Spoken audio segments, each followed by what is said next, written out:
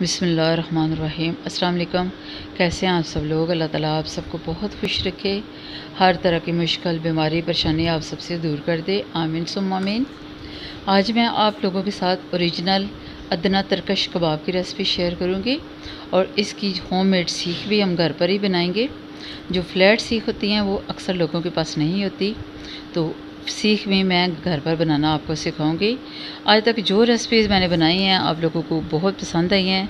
मैं आप सबकी बहुत ज़्यादा शुक्रगुजार हूँ। उम्मीद है कि आपको ये रेसिपी भी बहुत पसंद आएगी।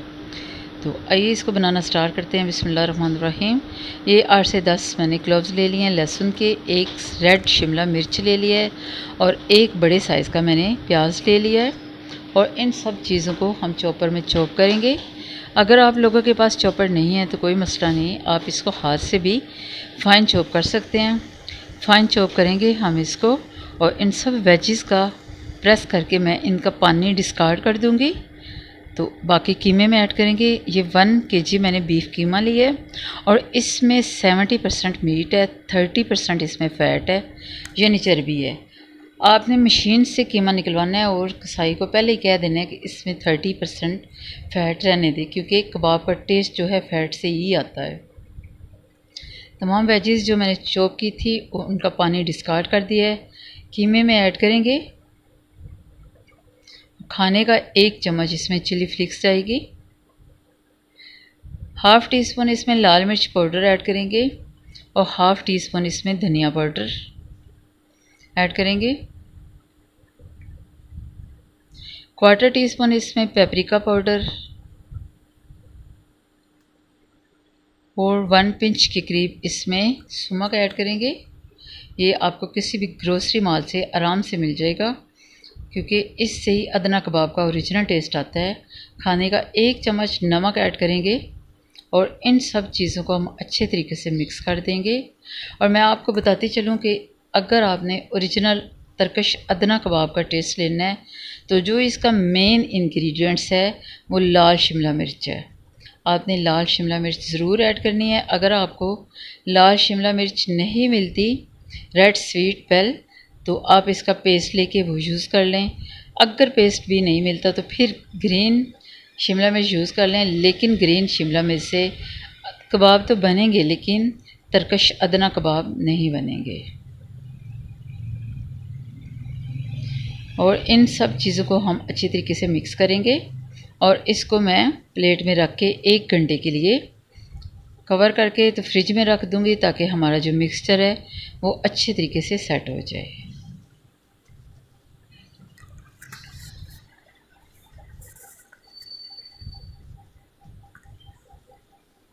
तरकश कबाब की बहुत सी वैरायटी है, लेकिन जो सबसे ज़्यादा फ़ेमस है वो अदना तरकश कबाब है।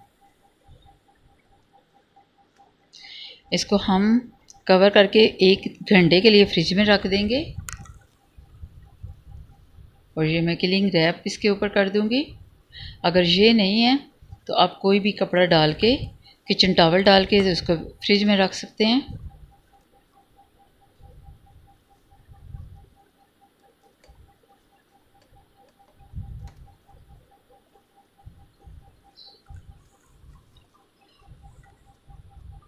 अब रख देते हैं इसको फ्रिज में और हम कर लेते हैं होम मेड सीख फ्लैट सीख तो होम मेड फ्लैट सीख बनाने के लिए ये मैंने स्कीवर ले लिए हैं। ये आपको आराम से यहाँ से बारबेक्यू का सामान मिलता है। ग्रोसरी मॉल से या किसी भी शॉप से वहाँ से आपको मिल जाएँगी। ये हर जगह से आराम से मिल जाती हैं। और ये फॉयल पेपर ले लिया मैंने। और ये हम सिक्स पीस कीवर ले लेंगे। इस तरह करके इसको मैं जोड़ के रखूँगी और एक छोटा सा स्लोशन पीस, वो स्लोशन टेप का पीस ले लेंगे और इसको एंड्स पे हम सील कर देंगे ताकि जब फोल्ड करें तो ये स्कीवर हैं, वो बिखरे ना। इस तरह जोड़ के रखेंगे। इक्वल करेंगे इस तरह। अब ये स्लोशन टेप का पीस छोटा सा लेके तो इसको इस तरह करके हम सील कर देंगे। फिर आपको फ़ोल्ड करने में बहुत ज़्यादा आसानी सी हो जाती है।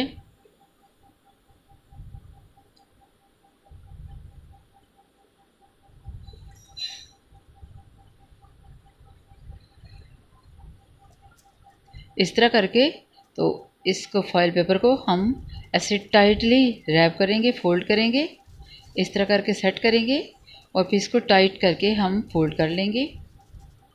तो ये फ्लैट सी हर एक के पास नहीं होती। कहीं कहीं से मिलती है, कहीं से नहीं मिलती। मेरे पास भी नहीं थी तो फिर मैंने इसका ये हल निकाला है। मैंने कहा, आप लोगों के साथ भी शेयर करती हूँ। ये देखिए, इसको टाइट करके हम प्रेस करते जाएँगे और फोल्ड करते जाएँगे। बहुत ही आराम से फ्लैट सीख बनकर तैयार हो जाएगी हमारे घर में। ही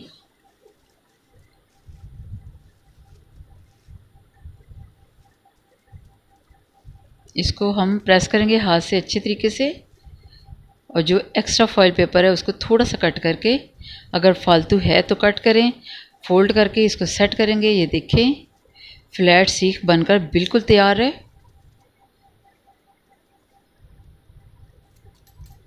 एक्स्ट्रा पीस कट कर देंगे और को बिल्कुल ऐसे सीख की शेप दे देंगे इस तरह करके।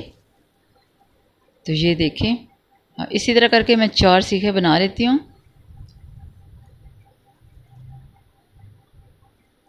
बहुत ही टाइट बहुत बिल्कुल ओरिजिनल साइज़ की हमारी फ्लैट सीख बनकर तैयार है।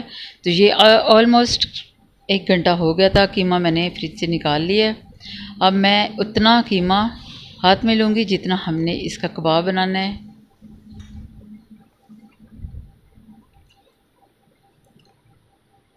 मिक्सर हाथ में उठाएँ। जितना कबाब बनाना है, उतना मिक्सर लेंगे उसको ऐसे टाइट करके। ऐसे फोल्ड करेंगे और फिर मैं इसको सीख के ऊपर पहले मीट को सारा फैला लूँगी, मिक्सचर को, और उसके बाद फिर हम फिंगरप्रिंट देंगे। ये देखिए, सारा मैंने सीख के ऊपर ऐसे कीमा फैला लिए अगर आपने फिंगर मार्क्स नहीं देने तो कोई मसला नहीं है। इस तरह भी हमारे कबाब जो बनकर तैयार हो जाएँगे। लेकिन ओरिजिनल टेक्सचर देने के लिए मैं फिंगर मार्क्स दूँगी। इस तरह करके बहुत ही आराम से आ जाते हैं। अगर आपको कोई मसला हो रहा है तो ऐसे भी हम इसको फ्राई कर सकते हैं। ये देखिए एंड पे हमने प्रेस करके बिल्कुल ऐसे बाइंड करना है। इस तरह। दबा के हम प्रेस कर लेंगे दोनों साइडों पे।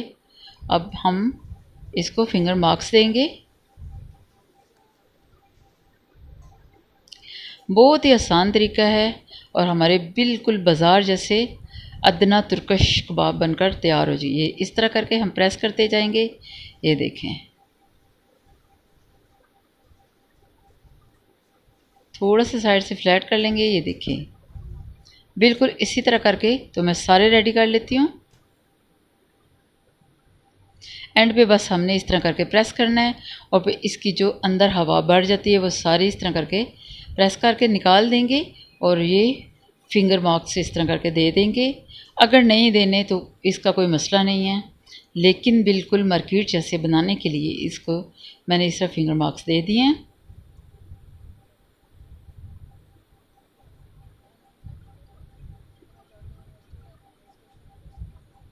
और जैसे नॉर्मली हम कबाब यूज़ करते हैं, उनमें काफ़ी सारे मसाले जाते हैं, लेकिन तरकश अदना कबाब में बहुत ही कम मसाले जाते हैं।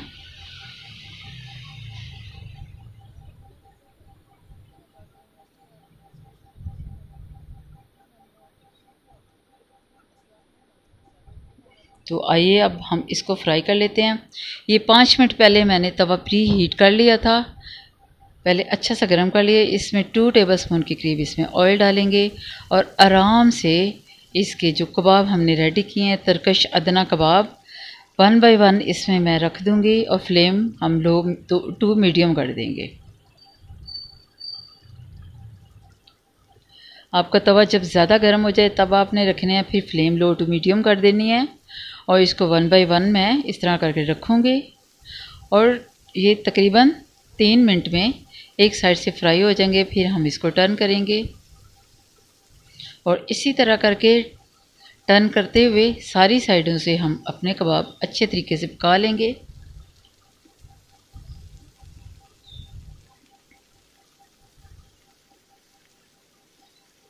आपसे माजरा चाहती हूँ, ये धुएँ की वजह से बाज़ात इसकी पिक्चर जो है, वो थोड़ी सी धुंधली हो जाती है। ये इसी तरह हम इसको टर्न करते जाएँगे और सारी साइडों से बहुत अच्छे तरीके से हम अपने कबाब जो हैं वो पका लेंगे। ये देखें बहुत ही बेहतरीन तरकश अदना कबाब, बहुत ही ज़बरदस्त कमाल के बनकर बिल्कुल तैयार हैं। ये मैंने सलाद बना लिया था, टमाटर, प्याज और उसके साथ मैंने उसके ऊपर लेमन रस, खीरा सलाद बना लिया था। ये पुदीने की ग्रीन चटनी भी मैंने बना ली थी। तो आइए इसको सर्व करके मैं दिखाती हूँ। सो वीवर्स अगर आपको मेरी वीडियो पसंद आई है तो मेरे चैनल को सब्सक्राइब ज़रूर कीजिए। वीडियो अच्छी लगे तो लाइक करें और शेयर भी ज़रूर किया करें अपने फैमिली, फ्रेंड्स के साथ। तो आइए इसको मैं सर्व करके आपको दिखाती हूँ। बहुत ही कमाल के अदना कबाब बनकर बिल्कुल तैयार हैं। ये पहले हम रोटी के ऊपर पुदीने की चटनी रखेंगे।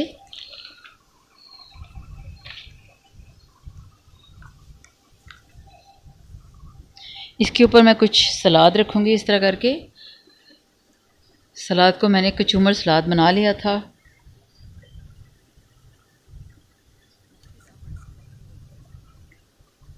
मुझे पूरी उम्मीद है कि आप लोगों को मेरी ये वीडियो बहुत ज़्यादा पसंद आई है।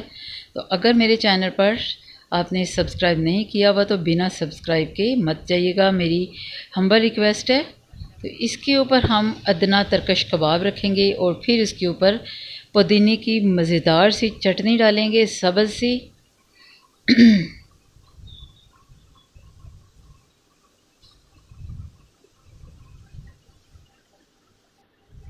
तो बहुत ही कमाल के ज़बरदस्त तरकश अदना कबाब बिल्कुल रेडी हैं। तो चैनल को सब्सक्राइब ज़रूर कीजिएगा, साथ ऑल नोटिफिकेशन को क्लिक कीजिएगा, इससे आने वाली हर नई वीडियो सबसे पहले आपको मिलेगी। वीडियो पसंद आई है तो लाइक भी ज़रूर कीजिएगा और शेयर भी ज़रूर किया करें। ये देखिए, अंदर तक बहुत अच्छे तरीके से पक चुके हैं। मिलती हूँ एक नई अच्छी सी वीडियो में। तब तक के लिए इजाज़त दीजिए, खुश रहें, हँसते रहें, मुस्कुराते रहें। अल्लाह हाफिज़।